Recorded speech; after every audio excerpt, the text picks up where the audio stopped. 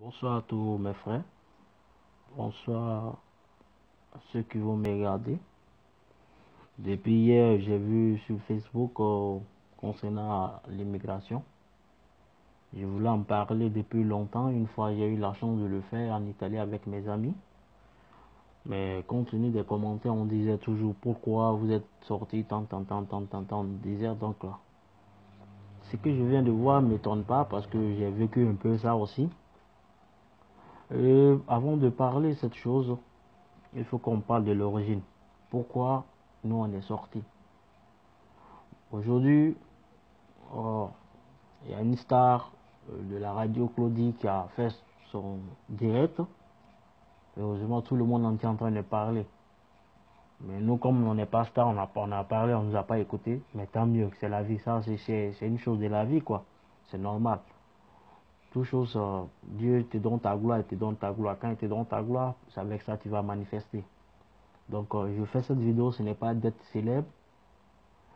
C'est Dieu m'a donné la chance de voir beaucoup de choses et de comprendre beaucoup de choses. Cette vidéo même, je le fais même, j'ai le cœur attristé, mais je le fais comme ça pour juste faire comprendre mes amis, mes frères aussi, pour les dire que cette route de Libye est très difficile. On a vécu dessus. Donc, euh, je vais rentrer par les détails, dans les détails, pour que vous allez mieux comprendre. Parce que eux ils parlent, les stars qui ont parlé, les artistes qui ont parlé de ce qui se passe en Libye, mais toujours personne ne peut pas, personne n'a expliqué quelle est l'origine de ça. Comment ça s'est commencé Moi, je vais vous donner ce que moi j'ai vu et l'expérience que j'ai vécue, je vais vous dire. Et j'aimerais que vous partagiez un peu la vidéo pour que chacun de vous puisse comprendre ce qui se passe. Et tu vois. Bon, quand on est sorti, je suis sorti de la Guinée le 22 août 2016.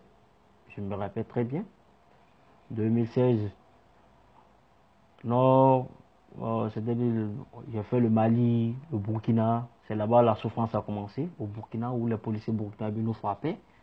On nous fait payer une grosse somme de 15 000 francs CFA pour chaque barrière, où on était maltraité par les policiers burkinabés.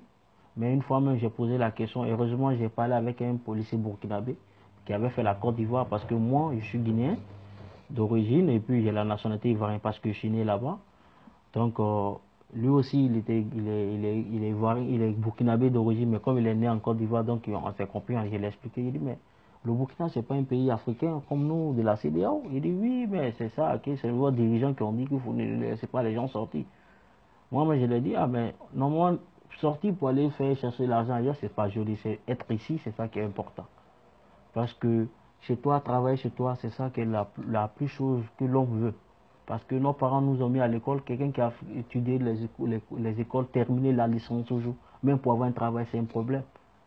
Donc, compte tenu de ça, ça ne va pas. Donc, on sort, parce qu'on a une famille qui souffre. On veut fonder une famille. Nous aussi, on veut avoir une belle vie aussi. Même si ce n'est pas avoir des milliards, mais on va avoir de l'argent un peu pour juste pour satisfaire les besoins de notre famille. Rouler dans les caisses, faire les trucs. Quand il y a un problème familial, ça va. C'est ça, on veut aussi. Parce que tout le monde veut le bonheur. Personne ne veut pas le bonheur. Ça, nous, on a pris une initiative de sortie. Et quand on est sorti, on a vu. Donc, le, le policier, quand je l'ai expliqué, il m'a dit, ouais, il faut payer, il faut payer. J'ai dit, paye pas, ils m'ont frappé.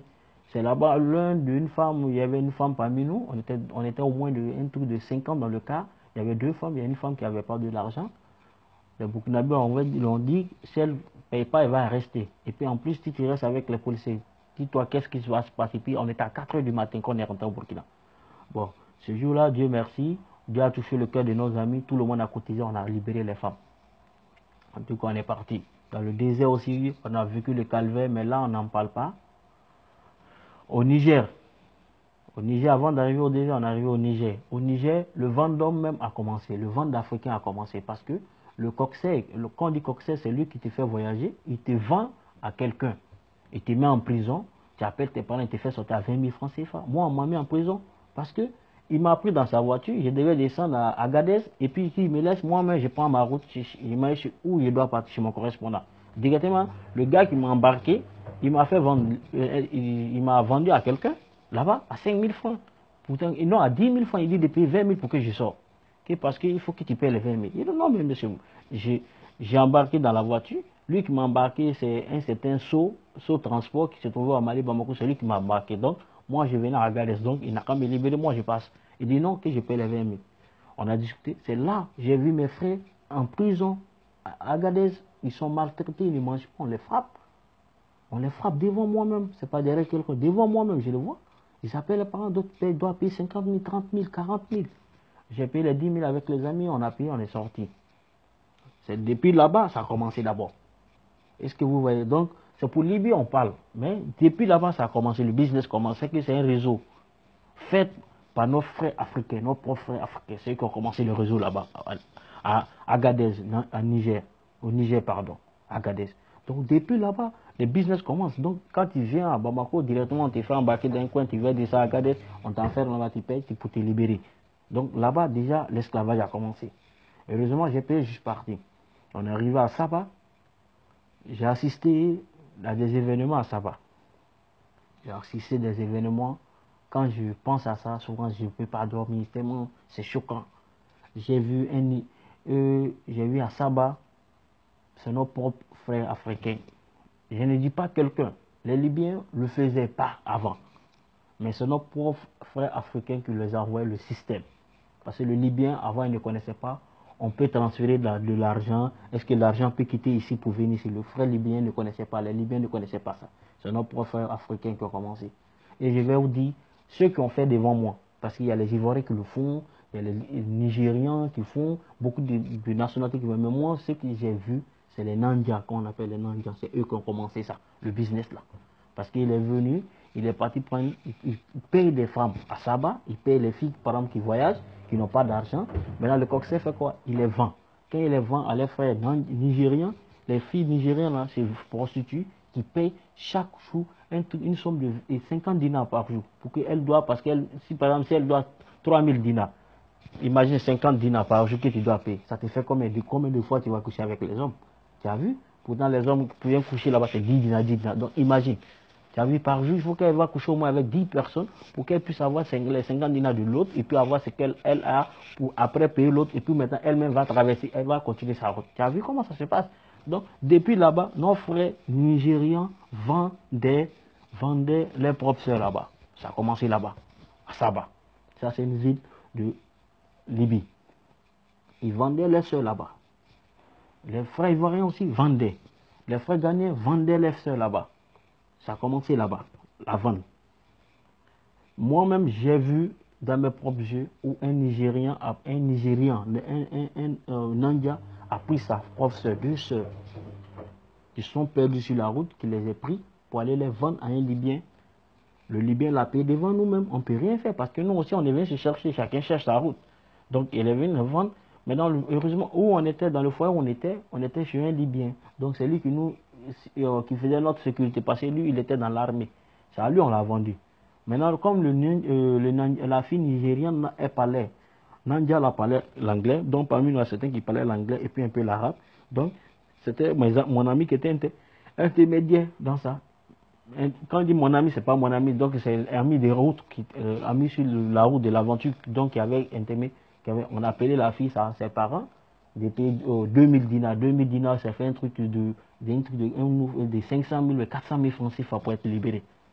Maintenant, on l'a demandé qu'est-ce qui t'a mis? C'est dit que non, c'est son propre frère qui vient le vendre. Un, frère Nandia qui l'a pris sur la route, il s'est perdu. Quand il voulait, elle voulait se cacher de la police. Maintenant, le gars l'a envoyé chez lui pour coucher avec lui. Après, il vient le vendre. Tu as vu? Donc, c'est là-bas les Nandia ont commencé. Donc, on était là-bas. On a vu encore le même monsieur, quand il a acheté les filles, il a vendu, il a vu qu'il a eu de l'argent dans ça. Parce que il s'est dit quoi? Le, le, le, Libyen se disait que le noir, la peau noire, nous, on est des miskines. Miskines veut dire que les pauvres, on n'a rien, donc il ne va pas s'en pouvoir. Même si, si un petit prend crie chez nous, si un Libyen veut voir, laisse-lui là, c'est un pauvre qui est en train de crier, c'est un pauvre, lui il n'a rien.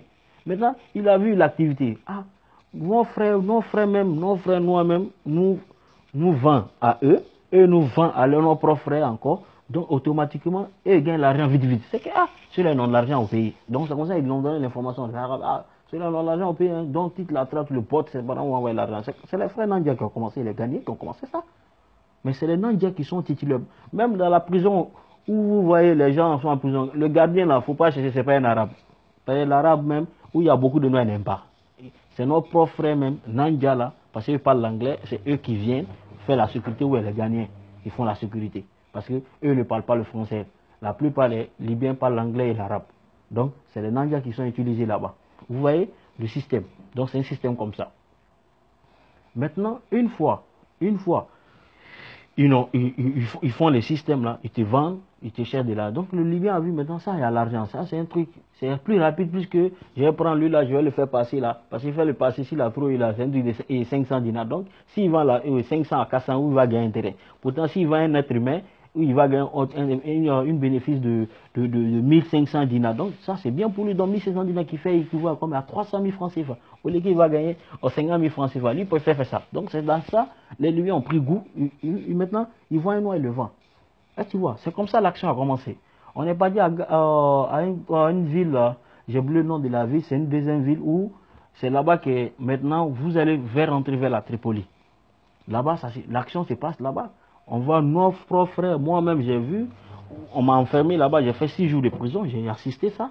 Où c'est mon, mon propre frère noir, nigérien, qui me garde, qui me frappe, qui me dit où je dors là, c'est là-bas, je dois pisser, je dois chier, tout. on dort ici, les filles dorment à côté. On a vu tout ça ici. C'est les frères Nandia qui font ça. Ils appellent nos parents, envoyer de l'argent, on va libérer l'autre. Mais heureusement, moi, Dieu merci, j'avais l'argent, j'ai payé pour moi, j'ai passé avec les hommes, on a passé. Ça s'est passé devant nous. Dans une ville encore, Gadrou là-bas, j'ai vu encore les Nandia vendre leurs frais. Il, lui, il a acheté à 500, il a vendu à l'autre à 1500, l'autre a vendu à 2000. Alors, les Arabes, c'est eux qui ont commencé le business. C'est les Nandia qui ont commencé le business. C'est eux qui ont montré le business aux Arabes. Et les Arabes maintenant ont pris goût, comme dans les pays, ils n'ont pas d'activité à faire. Donc, c'est là, comme l'autre là, passer les gens dans le bateau là, c'est un gros réseau, on peut pas, tout le monde ne peut pas passer là, tout le monde ne connaît pas ces réseaux. Ok, nous aussi on va faire ça. Les jeunes aussi maintenant se sont mis dedans, ils ont vu qu'il y a goût dedans, maintenant ils ont fait. Donc, c'est eux qui leur ont montré la route. Et tu vois. Donc, moi, je vais faire l'historique avant d'arriver au point essentiel. L'historique, c'est là-bas. C'est là-bas ça a commencé. Vous voyez? À Tripoli, quand nous, on est monté dans le bateau, on a fait un accident, on nous a pris. On nous a envoyés en prison. J'ai fait là-bas deux mois, quelques, deux mois, une semaine en prison. Deux mois. Je sais de quel calvaire que j'ai suivi là-bas. J'ai vu mes propres frères en train de mourir, ou c'est mes propres frères soudanais et des Ghanéens et des Nigériens, Ghanéens et des... Euh, ouais, c'est eux qui étaient les gardiens là-bas, qui nous maltraitaient devant les Arabes, qui nous frappaient, qui nous vendaient même. On nous vend, on nous vend même. Toi-même, tu vois, on vend ton ami tête à tête. Moi, j'ai été victime. On m'a vendu deux fois. On m'a vendu une fois, mes parents ont payé. Deuxième fois, ils ont payé pour me faire libérer. Vous voyez? Donc, c'est comme ça l'action se passe là-bas. C'est comme ça l'action se passe. Ils, ils nous ont, il y a un Ghanéen qui vient. Quand il vient directement, il demande Ah, il y a combien de gagnants ici? Bon, il va dire Bon, il fait la liste. Parce qu'on était venu nouvellement, on était au nombre de 100 et quelques personnes est venues. Donc, il y avait, dans nos groupes, il y avait au moins un truc de 30 gagnants ou 20 gagnants comme ça. On n'était pas beaucoup comme ça mélangés. Il ferait la liste. Ceux qui leurs parents ont l'argent, ouais, moi je vous paye ici, je vous fais sortir et vos parents moi me fait sortir. Il a dit ça, on a compris. Heureusement, on a eu la chance de voir l'ambassadeur qui est venu, l'ambassadeur du Sénégal est venu faire rendre visite à, à, dans la prison, avec le consulat guinéen de Tripoli est venu nous voir. Lui, il est venu, moi directement, je l'ai parlé. Ah, monsieur le, monsieur le consulat guinéen, Dieu merci, quand vous êtes venu, c'est que nous, on est sauvés. Il dit, ah, ok, comment? Il dit, bon, nous, on aimerait sortir, mais on n'a pas de moyens parce qu'on a dépensé trop sur la route, on n'a rien. Donc, comme c'est le gouvernement, faites appel au gouvernement pour qu'on va sortir. C'est qu'est-ce qu'il nous a répondu? Que le gouvernement n'a pas le moyen pour nous faire sortir. Sincèrement dit, c'est ça il nous a dit, que le gouvernement n'a pas le moyen. Si tu peux appeler tes parents, appelle tes parents, ils vont te faire. Si tu ne veux pas sortir tes parents, tu vas périr dans cette prison, ils vont te vendre à quelqu'un, tu vas aller faire les travaux forcés, les travaux tempêtes, tu vas le faire, tu vas mourir là-bas. Il nous a dit ça tête à tête. Ni chaud ni froid, il a dit. Et puis j'ai vu que c'est la vérité. Ah, j'ai dit, moi, en tant que Guinéen, moi, mon pays même ne peut pas me faire sortir ici. C'est que ce n'est pas la peine, c'est que c'est honteux. Pourtant, je vois le fils du président en train de promener avec des caisses de combien de millions d'euros. Moi, nous, les citoyens guinéens, au moins 50 personnes nous faire sortir, c'est impossible. Ils sont incapables de le faire. C'est là-bas on voit ton frère africain vient noir, ton propre noir, frère noir ghanéen est venu, il est venu devant nous, il perd les gens, il les enferme dans chez lui là-bas, il appelle tes parents. Quand tes parents ne l'envoient pas l'argent, il te boucle là-bas. Quand un arabe a besoin de toi pour les travaux champêtres, il vient les voir. Alors qu'on a besoin de toi, il dit, bon, ok, faut sortir. chaque jour tu travailles, normalement tu vas gagner au moins 50 dinars quand tu te travailles, journée. Mais lui, il va te dire chaque journée c'est 10 dinars. Son frère noir va te dire ça, c'est 10 dinars. Donc les 40 dinars c'est son bénéfice, puis tu lui payes 10 dinars. Donc il va payer 1500 dinars. Imaginez combien de jours tu vas faire. Chaque jour toi tu payes 10 dinars, 10 dinars, fois 1500. Ça te fait 150 jours que tu vas travailler pour lui. Dans les 150 jours tu travailles là, normalement tu gagnes 500, 500. Tu peux gagner 50, 50. Mais lui, il bouffe les 40, ça ne fait pas partie du contrat. Tu as vu? C'est là-bas. Dès là-bas, on nous vend. C'est dès là-bas. Maintenant, quand tu travailles très bien, tu es bien musclé, tu, travailles bien, l'arabe dit ok, c'est plus la peine. Il te doit comme là-bas. L'arabe paye ça là-bas. Et puis maintenant, il dit ouais, il t'a payé. C'est fini. Maintenant, quand il a fini son travail, il sait que non, si tu te laisses, il va fuir. Maintenant, il te prend encore, il te vend à quelqu'un d'autre. Il, te vend à un, autre frère arabe. Quand l'autre aussi utilises, il voit que non, il ne peut pas te garder parce que tu vas fuir, il te vend encore à quelqu'un. Donc c'est comme ça. Donc le marché a commencé quoi? C'est les non-propres africains même d'abord qui nous vendent d'abord aux Arabes. Après les Arabes, comme ils voient qu'il y a l'argent dans ça, parce qu'il a investi l'argent dans toi pour payer tant, tant, tant. Maintenant pour récupérer ça, il va te vendre à son frère. Son frère aussi va t'utiliser, il va te vendre. Donc tout ça commence par quoi? C'est le frère africain qui commence ça d'abord, premier. Moi, je vais vous dire la vérité, c'est ça. Moi, j'ai vécu la réalité, je le sais comment ça se passe à Libye. J'ai vécu tout, toutes les circonstances de Libye. Quand je dis tout, je n'ai pas dit j'ai vu tout, mais j'ai vécu beaucoup. J'ai vu devant moi en antenne électrocuter quelqu'un parce que son, son frère noir même le vend un Libyen pour qu'il il appelle ses parents pour l'envoyer de l'argent. Donc aujourd'hui, j'ai fait cette vidéo-là parce que ça me touche. Nous, on a parlé depuis longtemps, mais n'ont pas pris en considération. Si on est sorti aujourd'hui pour venir ici, Dieu merci, je rends gloire à Dieu parce qu'il m'a aidé sur cette route. Parce que j'ai échappé à la mort plus que trois ou quatre fois. Mes amis sont témoins. J'étais victime, moins j'aime, on allait me tuer. Dieu merci. Je suis sorti donc je remercie le bon Dieu. Je dis, je vais faire cette vidéo juste pour vous expliquer. On est sorti pour venir ici, là. C'est pour venir se chercher. Parce que moi, j'ai étudié, j'ai fini mes études pour avoir un boulot parce que je ne porte pas le même nom avec le président. ou parce que je ne suis pas dans le parti du président. C'est pour ça, moi, les politiciens, moi, je les foque et tous. Moi, je calcule personne. Ces opposants, toujours, ils font des manifestations dans nos pays chaque jour et nuire dans les pays. C'est le moment de faire des, manifestations. Nos, frères sont en train de mourir là-bas, en train de les vendre. Ils meurent là-bas. Ils sont au courant, mais ils ne font pas de manifestation pour Parce que ça, lui, il ne va pas voter pour lui. Lui qui va voter pour lui, c'est ça qui l'intéresse. C'est les petites conneries, ils vont le faire. C'est pour ça que je vous dis, ne suivez pas un politicien. Un politicien, quand tu le suis, tu es un mouton, mon frère. Moi, ma vie politique, c'est ma famille et mes amis. Mon président, c'est mes parents. Mes ministres sont mes amis. Les autres, là, je m'en bats les couilles. Je m'en fous d'eux. Je vis ma vie tranquillement et paisiblement. Et car grâce à Dieu, c'est Dieu qui donne. Comme on dit, le bonheur, c'est Dieu qui donne. Et puis c'est vrai, c'est Dieu qui donne. Et je tente ma chance si Dieu me donne mon bonheur. Et je le partage avec mes amis, etc. Les artistes, là, c'est le même pied d'égalité avec les politiciens. Quand il y a un concert, quand tu te trouves dans le dernier village dans les Libye, ils vont faire les spots pour dire, ouais, dans un concert à Paris comme ça, comme ça. Mais quand il y a un problème face à leurs au lieu de faire la vidéo, ils sont incapables. Ils sont assis dans leur coin tranquillement. Ils sont très assis, mais ils s'en foutent. C'est lorsque le, journaliste de RFI a parlé, l'animateur de RFI a parlé, ils ont commencé à sortir les têtes. Nous, on a trop souffert à Libye, on a dit la réalité, ils ont vu. On pose la question pourquoi tu es sorti? Oui, nous on est sorti avec bravoure. Et puis, Inch'Allah aussi, que Dieu aide tous les jeunes qui sont là-bas. Nous, on prie pour ils vont rentrer, ils vont venir, on va gagner le bon, on va rentrer dans nos pays, on va s'asseoir. Si, tu vois que nous on, se fout de nous, ici en Europe, c'est quoi qui fait? C'est notre président qui le font. Parce qu'on ne nous respecte pas. Tu t'assois dans un bus où il y a la place, les blancs rentrent, ils te voient, ils ne s'assoient pas côté de toi. Un asiatique qui rentre dans son pays, mais toi, es dans ton pays, ton pays est mille fois mieux plus que lui. Je vais prendre un exemple, l'Afghanistan. La Guinée est plus mieux qu'eux. Je vais prendre un pays encore, d'un pays vers, l'Asie, où on est mille fois mieux qu'eux. Mille fois mieux. Mais quand ils viennent en Europe, on les respecte parce que les présidents les respectent. Ils sont respectés. Nous, on ne respecte personne. On ne respecte pas entre nous. Donc le problème pour avoir le problème de Libye là, ne vous cassez pas la tête. C'est vrai, les Libyens ont déconné. Parce que moi, personnellement, moi, je rentre dans mon pays, sincèrement dit. Je juge, je juge tout ce que j'ai dans ma vie. Je ne sais pas qu'est-ce que ce jour-là, quand je rentre dans mon pays, je croise un Libyen, je ne sais pas qu'est-ce que je vais lui faire. Là, je ne sais pas. Mais je sais ce qu'il veut lui faire là. C'est Dieu qui connaît.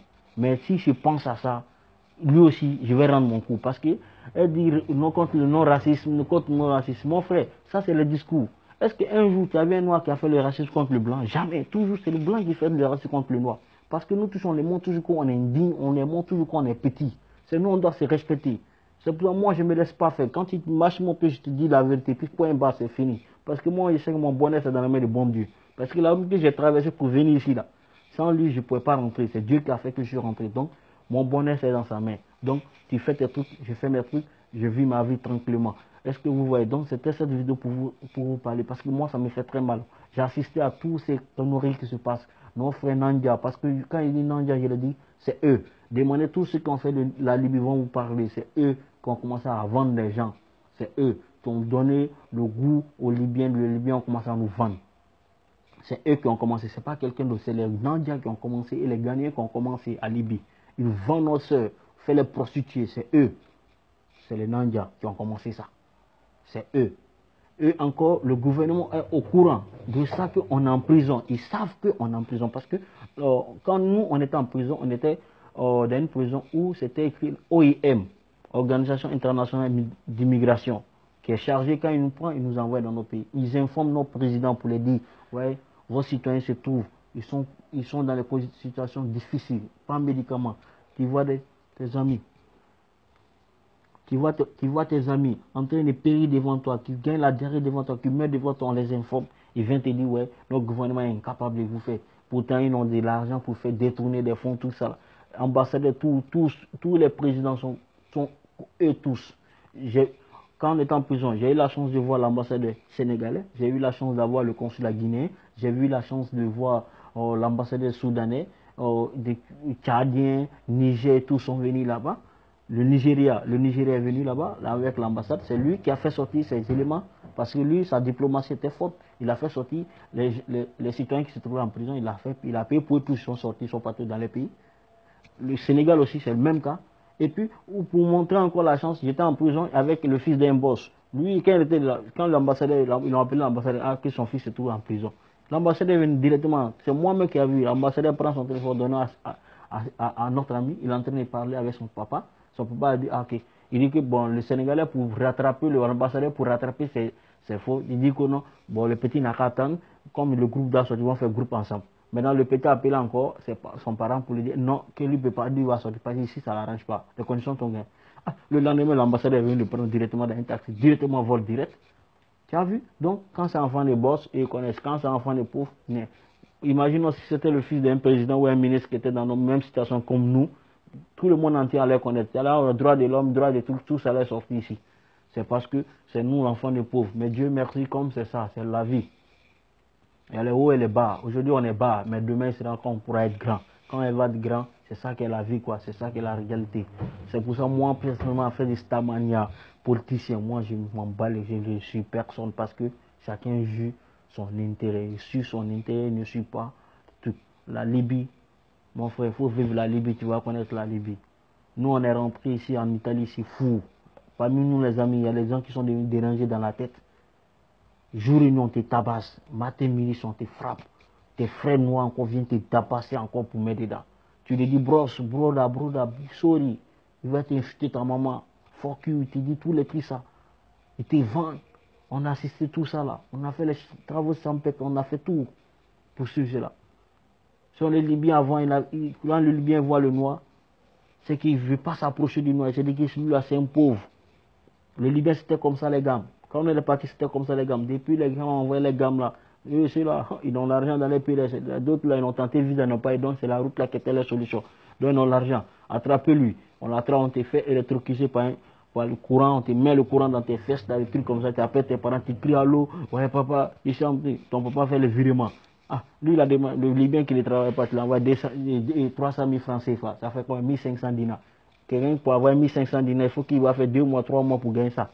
Toi, dans un ce jour-là, toi, tu tu as appelé tes parents, toi, tes parents l'envoient. Il ne va pas continuer l'activité. Il continuera toujours l'activité. C'est comme ça. Les filles, qui, les filles qui tombent enceintes là, tout c'est quoi? Quand tu calcules, ils ont été violés par nos propres frères, c'est eux qui les violent. Et les faire rentrer dans les coins de prostituées et puis les faire vendre là-bas et puis coucher avec eux, ils font tout ce qu'ils veulent avec eux. Quand la fille commence à prendre grossesse, il la libère, il la jette, il va la vendre à quelqu'un d'autre, à les frères libyens, à les Libyens. Tout ça, nous, on a assisté tout le monde, on a dit en Italie là-bas, bon, nous écoutez pas, on dit, ah, qui t'a envoyé là-bas? Ouais, personne m'a envoyé là-bas, mais c'est la route que Dieu m'avait prévu que j'allais prendre. Et j'ai pris, je suis rentré, là, je remercie le bon Dieu. Donc c'était juste pour faire cette vidéo, parce que quand je vois cette vidéo, tout le monde en train d'en parler, ça me touche au cœur. C'est pour ça que j'ai dit, je vais apporter mon grain de sel. Et écoutez très bien cette vidéo. Les fautifs sont nos propres frères africains. C'est eux qui ont commencé donner le système aux Libyens. Parce que les Libyens même se disent qu'ils ne sont pas africains. Quand ils vont dire, Africa, et quand ils disent Africa, vous allez faire par là. Et ils ne sont pas africains, ils disent ça. Mais moi, tête à tête, moi, si je vois un Libyen dans mon pays, ah, bon, il ne sait pas qu'est-ce que Dieu va mettre dans mon cœur pour me le pardonner. Mais moi, je veux le rendre ça. Sincèrement, parce que ce qu'il m'a fait là, je ne l'ai pas volé ni rien. Je suis venu de le voir. Même c'est illégal, mais j'ai payé avec mon argent, je n'ai rien. Au moins, s'il il me doit, puis m'a fait là, c'est normal. Moi aussi, on a, on a vu tout genre de tortures. Tout genre de tortures, on a vu. Mais grâce à Dieu, on est sorti indemne. Et c'est ça la vie, quoi. C'est ça la vie. Si vous voyez nos frères en train de sortir pour prendre le bateau pour partir, mon frère, ça, ça ne va pas au bled. Si ça va au bled là, voilà, il ne va pas sortir. Imaginez quelqu'un qui a étudié, qui a fini toutes ses études, qui a fini la licence. Pour travailler, c'est un problème. Il faut qu'il va gérer tes licences pour gérer sa famille. Quand est-ce qu'il va créer sa famille? C'est vrai, comme on dit, c'est Dieu qui donne le bonheur. Mais mon frère, toi aussi, il faut te mettre sur la route du bonheur. Dieu va te donner le bonheur. Tout le monde le connaît. Voilà, tout le monde le connaît. Avant que Dieu t'aide, aide toi-même. Donc si tu vois qu'on sort là, c'est parce que nos présidents, les dirigeants africains sont, incapables. On puis nous encore, nos profs encore bêtes encore les sûrs dans les idéologies qui sont très bêtes, qui n'avancent rien dans le pays. Bouffer l'argent, bouffer l'argent du pays. On est nation misérable. Dans le pays, on vient encore, dans les pays européens, on vient encore, on est indigné devant les gars. Ouais, mais tout cela, on s'y bat. On gagne encore, on rentre au bled, encore, on réalise. Quand on réalise encore, ils vont faire encore les politiciens bâtards, encore, vont venir faire des grèves, ou nos frères vont venir casser notre, c'est qu'on a, investi là-bas. Tu as vu? C'est que toujours, le faute là, c'est nous-mêmes les Africains d'abord. Tout, c'est eux. C'est eux, les politiciens et nos frères. C'est nous-mêmes. Dans la conscience là, il faut que c'est nous-mêmes qui le prennent. Parce que moi, je ne peux pas traverser tout la, Libye. Avec la souffrance qui est vécue, je viens en Europe, Dieu me donne la chance, l'opportunité d'avoir de l'argent et je m'investis en Guinée, demain ou en Côte d'Ivoire ou dans quel pays africain. Et puis les politiciens bâtards là viennent faire des, marches et puis on vient gâter. Donc, c'est-à-dire quoi? Donc, tout ce que le trajet qu'il a fait, ça, ça se résume en zéro. Donc, vous essayez de calculer, sciencer dans ça aussi, voyez ça. Le problème, c'est eux, les politiciens. Quand il y a, quand il y a, quand il y a chose, vote, ils ont besoin de nous. Je me dit que je vais arrêter la vidéo ici. Tu sais, quand la haine est trop forte, il faut que tu développes tout, tu dis tout. C'est donc, moi, je voulais faire une vidéo de 5 minutes, mais j'ai vu, ça me dépasse, quoi. Le sujet est très vaste. On a vu tout. On a vu tout. Et si Dieu me donne la chance aussi, Dieu me donne la chance de voir les grands médias comme la RFI, je vais étaler tout.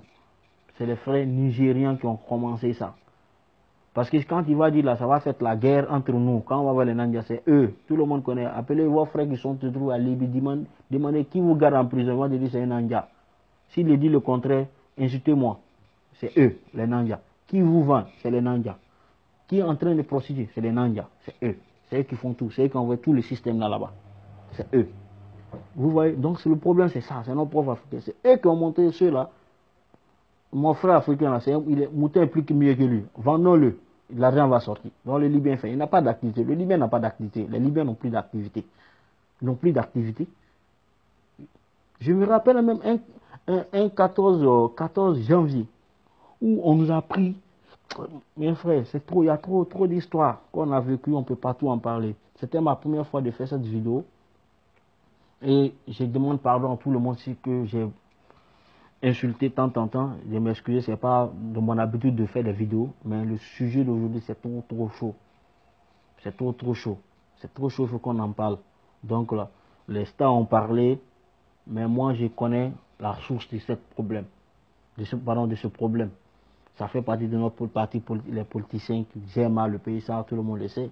Mais c'est nos propres frères qui ont initié la vente l'esclavage là, c'est nos propres frères qui ont commencé. Ça a commencé depuis Niger, Agadez, Libye, c'est nos propres encore qui, font, qui ont vendu, qui nous vendent à des Libyens.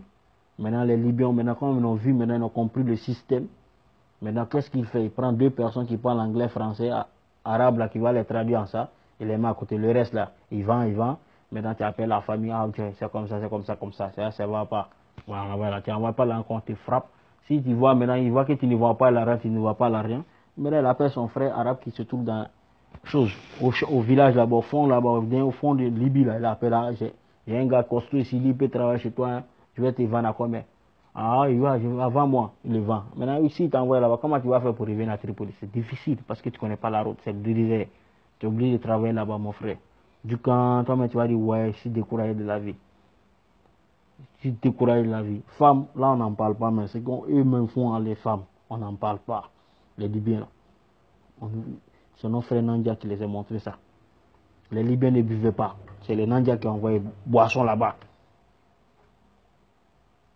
Ces boissons Krakara, c'est eux qui les envoyés. C'est Joufrom et Djinn. Ça quitte au Nigeria pour venir. C'est nos frères Nandia qui envoyé la boisson pour montrer aux Libyens. Les Libyens boivent ces déconnes. Ils font n'importe quoi. Non, c'est quand tu vois un petit Libyen là, il fait n'importe petit. Ta propre soeur devant toi, tu peux rien dire. Il y a d'autres qui apporté, qui apporté, qui vient, il a, il a pu tout, il fait tout ça là, les filles. Devant nous, on ne peut pas parler. Tu vas dire quoi, mon frère? Un petit qui le fait, tu ne peux pas dire, tu ne peux pas parler. C'est notre frère Nandia qui m'ont fait tout ça, qui l'ont montré tout. Et vous voyez, là-bas, c'est eux, le Nigeria. C'est eux qui sont la base. Quand il dit Nigeria, pas dit le pays, mais c'est les, les, habitants de eux, les Nandia qui ont envoyé ça, le système là, là-bas, avec les Ghanéens, qui ont envoyé le système là-bas. Et je suis un témoin, je connais ce qui s'est passé là-bas et ce que j'ai vécu là-bas. Mais grâce à Dieu, je suis sorti. Donc, je vous remercie beaucoup. J'aimerais que chacun de nous prenne conscience. Prions Dieu pour que Dieu puisse les aider là-bas. Parce que ici, c'est pour compter sur les, politiciens là. Je sais que c'est Kidal. Ils ne vont rien faire. C'est Dieu seul qui peut aider quelqu'un en Libye. Et je n'encourage pas encore mes petits frères, mes grands frères, mes soeurs de pratiquer cette route. Nous, on ne connaissait pas. On a appris. On a vu les malheurs, mais Dieu, nous a aidés. On est rentré en Europe aujourd'hui. Même dans l'Europe, c'est fou de nous, mais ça va aller, Inch'Allah. Tout chose, c'est le temps. Donc, je prie le bon Dieu à tous ceux qui sont là-bas de les aider, que Dieu les aide. Et je vous dis encore de ne pas prendre la route. C'est une route qui est trop ignoble. Très, très, très, très, très, très catastrophe. Quand tu, vis cette route-là, puis tu rentres en mon frère, tu vas être fou pendant un mois, deux mois. Ils vont t'asseoir d'abord, c'est un cicatrice qui va venir te parler un cicatrice qui va venir te parler pour voir vraiment si ça va. Un va comprendre que ouais, ça va pas. J'ai fait, fait des mois. Fait, quand je suis rentré en Europe, j'ai fait plus que deux mois ou trois mois, je ne dors pas la nuit. C'est cauchemar seulement. Tellement c'est chaud. Mais, là ça va maintenant. J'ai oublié un peu. Aujourd'hui, non. Hier, quand j'ai vu la vidéo, ça m'a fait rappeler. Donc, des mauvais souvenirs encore. Il faut que je partage ce que je, mon expérience que j'ai vu. Et je vous donne. C'est ça. Ne cherchez pas loin. C'est notre frère Nandia qui vend les gens là-bas c'est eux qui ont montré le marché aux, au Libyens. Parce que le Libyen ne connaissait rien. Même Facebook, le Libyen ne connaissait pas. Il ne connaissait pas l'alcool comme ça. C'est eux qui prennent l'alcool, ils l'envoient, ils vendent. Vous voyez? Le Libyen, lui, ce qu'il connaissait, c'est hachis, les drogues là, c'est ça qu'il connaît. Mais l'autre, la boisson, femme. Libyen, quand il voit femme, il prend notre route. Mais c'est notre frère Nangela qui les a pompés, montré la route. Fais ça, fais ça, n'importe quoi, c'est eux. Aujourd'hui, on vend les gens là-bas. Moi, on m'a vendu même.